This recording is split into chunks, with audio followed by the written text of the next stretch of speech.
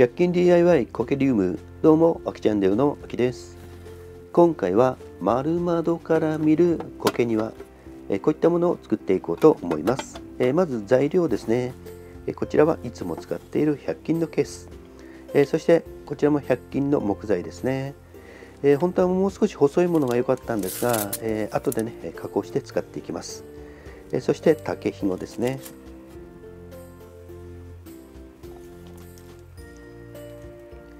えあとは、えこういった発泡スチロールの、えカラーボードですね、えこういったものを使っていきます。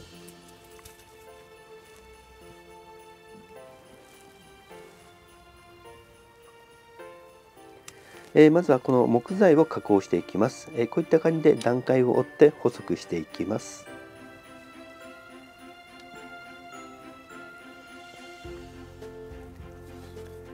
えー、カッターを使っていくんですがなるべく皆さんね結構力が入るので、えー、怪我をしないように気をつけてください、まあ、こういった作業が苦手、えー、もしくはめんどくさいって思われる方はホームセンターとかにもね、え細い木材たくさん売られているので、えそういったところでね購入されてもいいかなとは思います。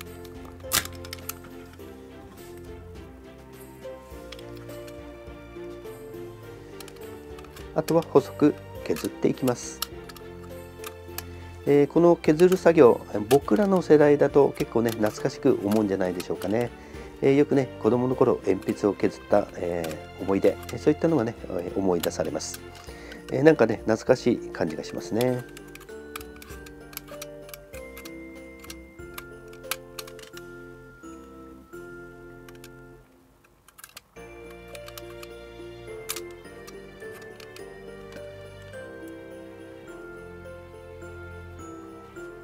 こんな感じですね、えそしてこんな形となります。えこれで障子の枠を作っていきます、えこんな感じですね、えそしてこの中にこんな感じではめ込みます。はめ込むというか木工えっ、ー、とあれですね。木工ボンドで留めていきます。で今回木工ボンドを使っているんですが木工ボンドってあの乾くと白くね透明になるのでこの糊の、まあ、はみ出しとかがね目立たないのでいいかなとは思います、えー、次に短くカットしたものを使っていきます。でここからはですね、えー、少し細かい作業になるのでピンセットとかがあれば、えー、使われたらいいかと思います。で私ねアクアリウム用の長いピンセットしかなかったので、え逆にちょっとやりづらいかなっていう感じはしたんですが一応ね使ってみましたまあ100均にもね、えこういった、短いピンセット売られているので、そういったものを使われてもいいかなとは思います。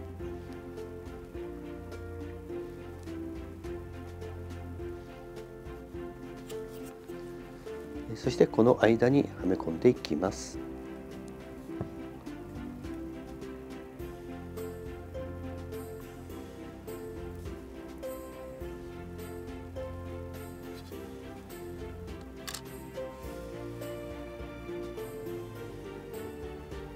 えそしてこんな感じとなります、え少しね雰囲気が出てきましたね、え次に障子紙を貼っていきます、え実際ね本物の障子紙があったので、えこちらをね使っていきます、えもしなければですね、えまあ、え100均にも半紙とかね、え習字で使う半紙とかも売っているので、えそういったものでもねいいかなとは思います。まあ、お子さんのねいるご家庭だったらね、えー、お子さんに少しねいただいて使ってもねいいかなとは思います。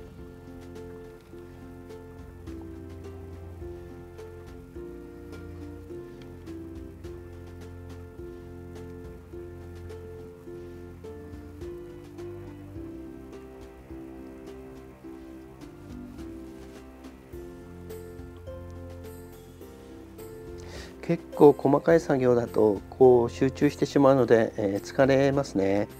えー、なかなか、えー、大変でした。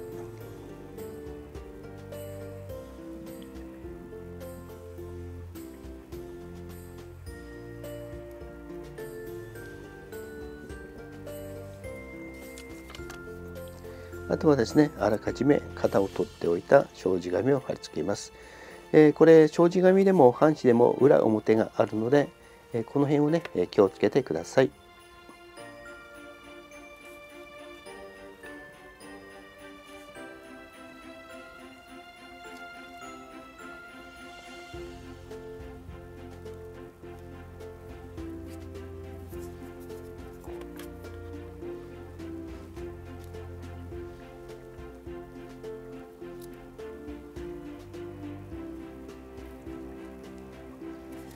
え次にカラーボードを使って丸窓を作っていきます、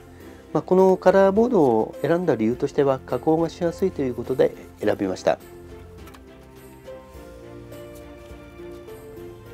え丸い型を取っていただいて、えー、あの何でもいいんですよね。丸いものを下に置いて鉛筆でなぞってあとはねカッターでこう削切り取る、えそういった作業ですね。意外とカッターだけでも丸くカットねすることができます。えー、そしてこの間に挟む挟み込む感じですかね。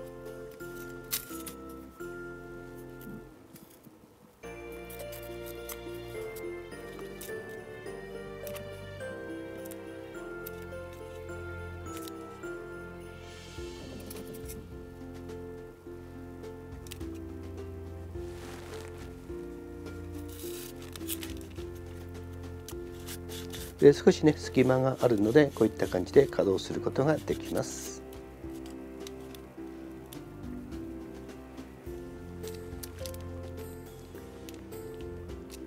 えー、次に竹ひごを使って横の部分ですね、えー、横の部分を作っていきます。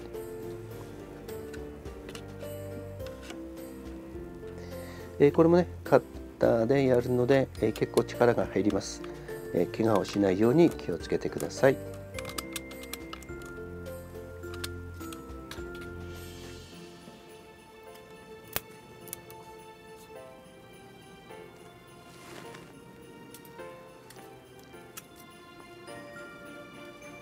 そしてカラーボードをこんな形で切り抜いてあります。ここに先ほどカットした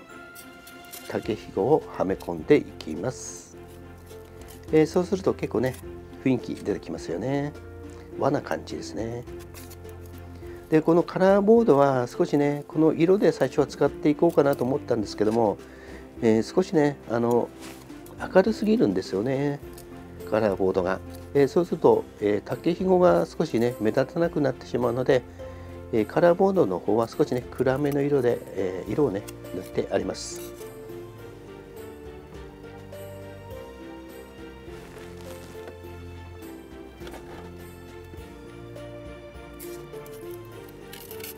こんな感じ横に設置をします。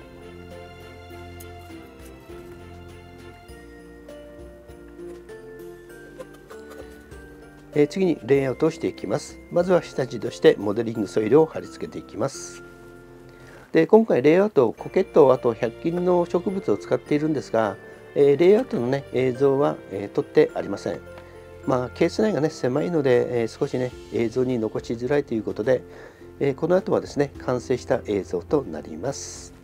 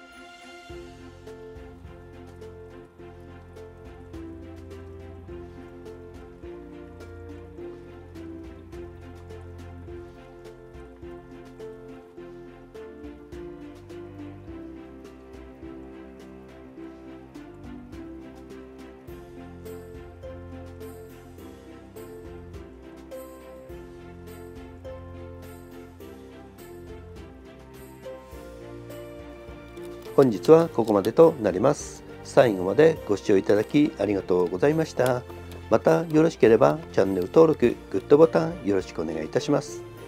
それではまた。